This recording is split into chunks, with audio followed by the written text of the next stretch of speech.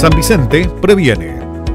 Les habla Albert Contreras, administrador municipal, y en nombre de nuestro alcalde, don Jaime González Ramírez, me dirijo a todos los vecinos y vecinas de nuestra comuna para dar a conocer un nuevo informe acerca de la ayuda social entregada por la Municipalidad de San Vicente desde el inicio de la pandemia por COVID-19, actualizado el domingo 16 de agosto.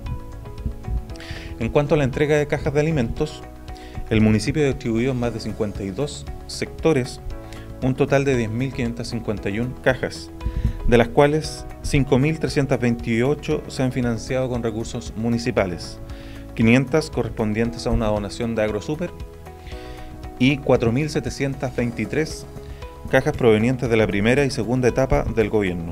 Por otra parte, en los seis comedores solidarios que la municipalidad ha puesto a disposición de la comunidad, se han entregado un total de 21.125 raciones de almuerzo cuyo desglose por sector es el siguiente.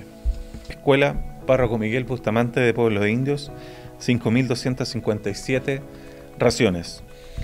Escuela Libertador de Callejones, 4.227 raciones. Escuela Guido Asís El Tambo, 4.005 raciones. Instituto San Vicente, 2.840 raciones. Comedor Solidario a Domicilio en Requegua, 3.588 raciones. Jardín Infantil Cristóforo Colombo, 1.208 raciones. Además, en cuanto a otro tipo de ayudas sociales, a través del programa asistencial tales como entrega de medicamentos, exámenes médicos y suplementos alimenticios, sumado a los aportes en servicios funerarios, materiales de construcción y pasajes, la cifra de solicitudes asciende a un total de 381. Asimismo, a la fecha hay un total de 6.904 solicitudes transmitadas en gestión del registro social de hogares. Queremos reiterar los agradecimientos a todos los particulares, agricultores y empresas privadas que han donado alimentos a los comedores solidarios y le recordamos a la comunidad que para solicitudes de ayuda social puedan comunicarse a los teléfonos de la Dirección de Desarrollo Comunitario que aparecen en pantalla. Los instamos a cuidarse más que nunca y a respetar la cuarentena territorial decretada para nuestra comuna desde el viernes 14 de agosto.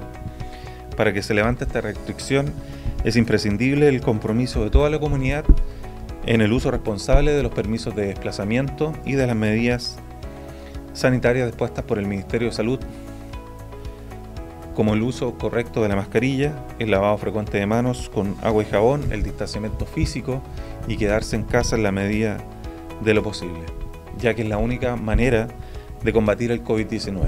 Un abrazo paterno y que tengan muy buena semana. Muchas gracias. San Vicente